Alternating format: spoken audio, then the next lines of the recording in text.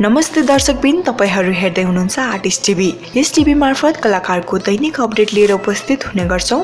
आज पनि यस्तै खबरको साथमा आइसकेको छु म सुनिता।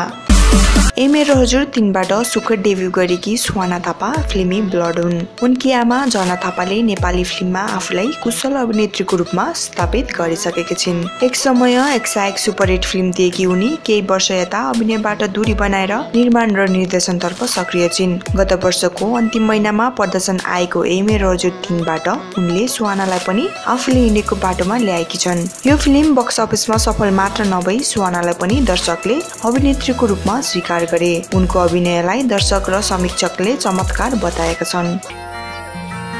त्यो यामाहाको एडभर्टिजमा हजुर बाइक फनक्क ल्याएर कपाल सरक्क आँखा झिमिक्क झिमिक्क हाय हाय। कतिपयले अहिले कि जल्दी बल्दी साम्राज्य राज्य लक्ष्मी शाहलाई उनी थ्रेट हुन सक्ने विश्लेषण समेत गरेका छन्।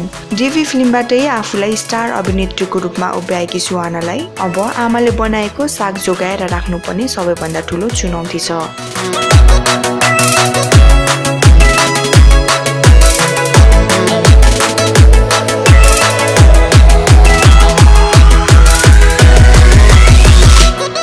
अमेरिकामा अध्ययनरत उनको दोस्रो प्रोजेक्ट कोसँग र कुन हुनेछ भन्ने धेरैलाई चासोको विषय बनेको छ।